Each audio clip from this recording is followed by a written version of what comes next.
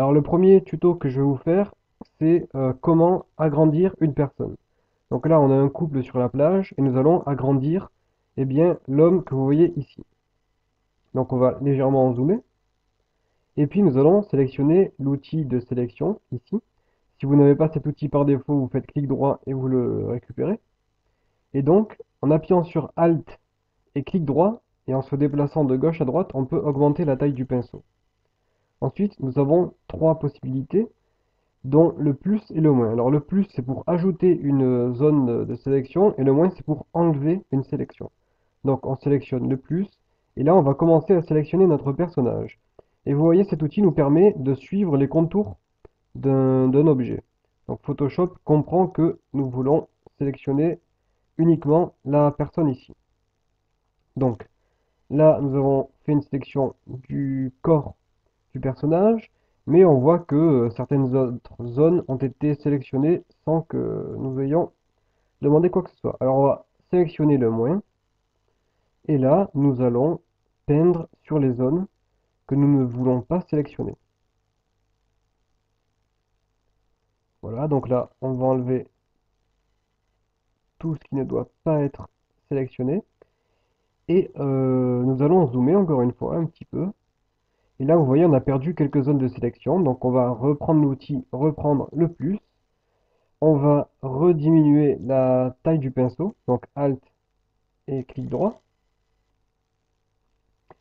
On a perdu la jambe ici, que l'on va récupérer. Tac. Et on va enlever la bouteille. Alors, ça dépend de la complexité de votre photo. Si les personnes sont sur un fond uni, il sera très facile de les sélectionner. Mais s'il y a beaucoup d'objets et de couleurs différentes sur une photo, comme c'est le cas ici, eh bien la sélection sera un petit peu plus complexe. Donc, nous avons sélectionné notre personnage. Ce que nous allons faire, c'est que nous allons cliquer sur ce petit, euh, onglet ici, ce petit logo, qui nous permet de créer un masque. Alors, vous double-cliquez dessus, et une petite, une petite fenêtre va s'ouvrir. Vous pouvez soit sélectionner les zones masquées, soit sélectionner les zones que nous avons sélectionnées. Donc nous, on va cliquer sur zone masquée, OK. Comme ça, lorsqu'on appuiera sur cette image, eh bien, toute notre image sera masquée et on gardera uniquement ce personnage ici. Et une fois que notre personnage est sélectionné, on fait CTRL J et là, un calque vient de se créer et ce calque contient uniquement ce que nous avons sélectionné. Maintenant que nous avons réussi à faire cette sélection, nous allons convertir ce nouveau calque en objet dynamique. Donc on fait clic droit, convertir en objet dynamique. Alors on va renommer ce calque, on double-clique sur le nom et on peut marquer homme, entrée. Et pourquoi nous l'avons converti en objet dynamique Tout simplement puisque lorsqu'on va faire CTRL T, eh bien, nous aurons une petite, euh, un petit cadre autour de ce personnage qui nous permettra de faire des modifications que nous n'aurions pas pu faire si notre objet n'était pas dynamique. Alors, on va dézoomer légèrement. Voilà. On fait donc CTRL T. Et là, nous allons agrandir l'homme.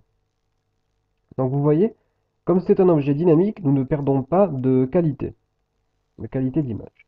Une fois que nous avons agrandi la personne comme nous le voulons, et que nous sommes euh, contents du résultat obtenu, on fait Entrée, et là, notre, euh, notre modification s'applique à l'image.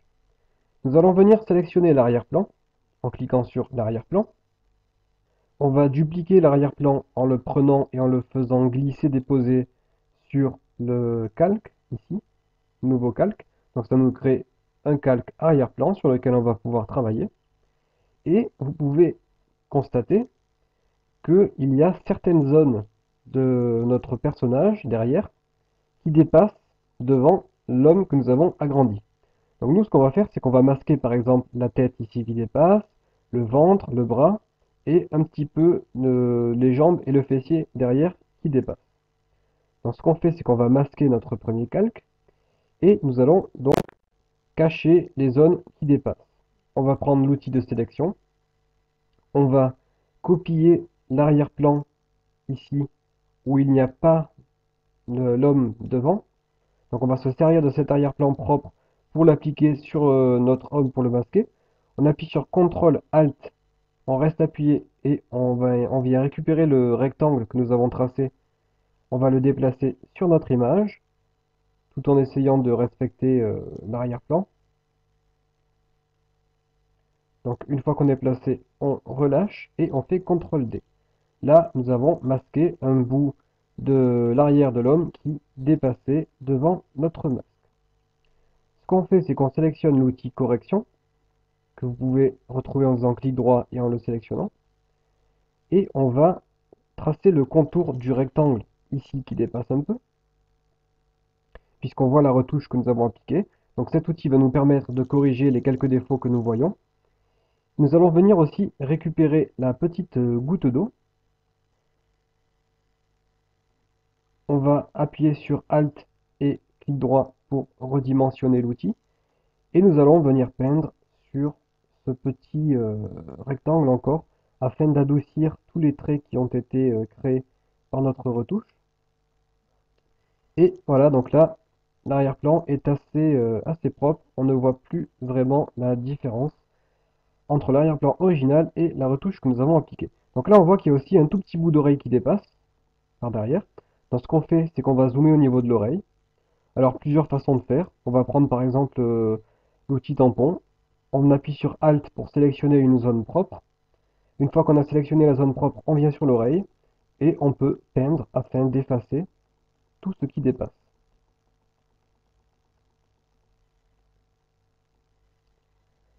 On va aussi diminuer légèrement la tête en haut, voilà. On va venir ici pouvoir masquer le personnage, la tête qui dépasse. Donc bien sûr, vous sélectionnez euh, une zone en appuyant sur Alt.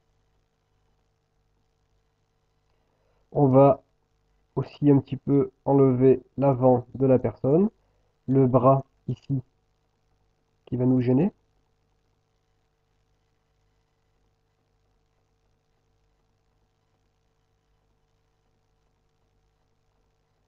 Donc on fait ça rapidement, mais bon, chez vous, vous vous appliquez pour avoir un résultat parfait.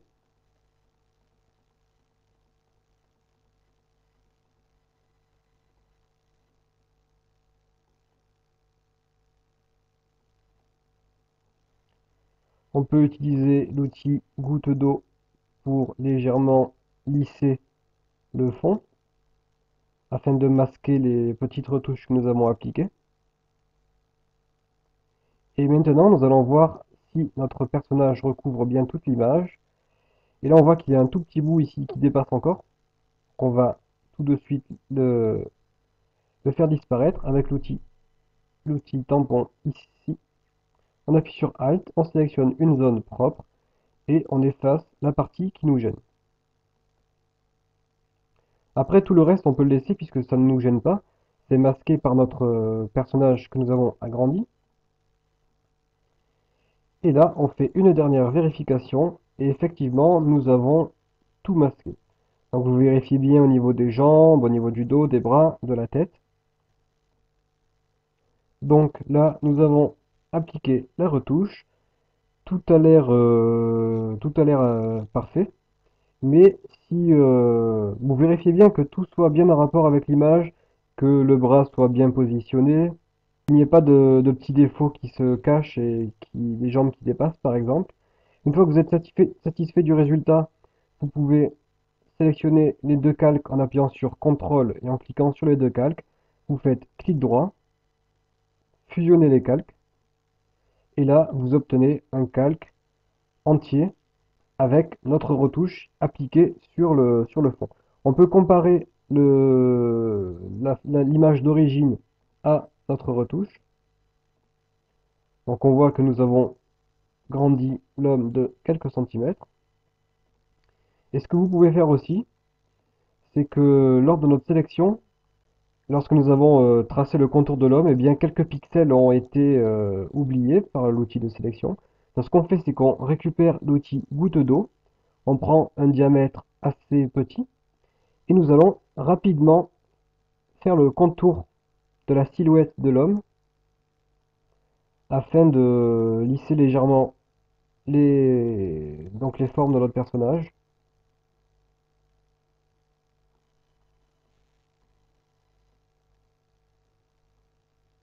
Et une fois que vous êtes satisfait du résultat, on peut enregistrer notre travail. Donc avant de se quitter, on regarde encore une fois la photo avant et après. Et vous avez appris à agrandir une personne.